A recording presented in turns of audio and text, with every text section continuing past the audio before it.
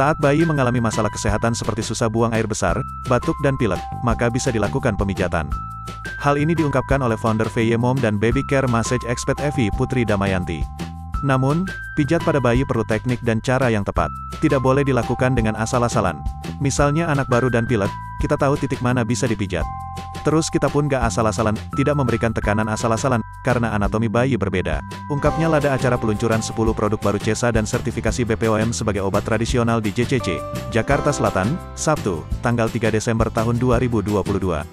Orang tua tidak disarankan asal memijat dan membolak-balikan tubuh bayi secara sembarang. Setidaknya ada beberapa teknik yang bisa dilakukan oleh orang tua. Pertama, teknik pijat untuk masalah konstipasi pada pencernaan bayi. Orang tua bisa memberikan pijakan berbentuk love pada bagian perut.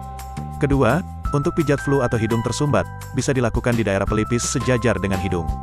Pencet sekitar 1-2 menit, kemudian kita gerakan dari bagian atas samping mata atas ke bawah. Itu membantu menurunkan lendir yang tertumpuk dalam hidung, nanti biasanya lendirnya keluar, paparnya.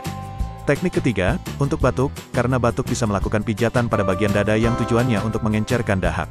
Ketika dahak itu sudah encer, dia bisa keluar melalui muntahan atau bisa juga luar dari mulutnya, katanya lagi. Selain itu, Dewi pun menyarankan jenis minyak yang memudahkan dalam memijat bayi. Menurut Dewi, direkomendasikan menggunakan minyak yang memang bukan konsentrat. Saat dipakai tidak kesat, terasa ada minyak gosok, kalau dipakai di tubuh akan terasa licin. Jadi bisa sebagai medianya minyak tapi yang licin. Namun dipastikan bahan tersebut memang aman buat si kecil.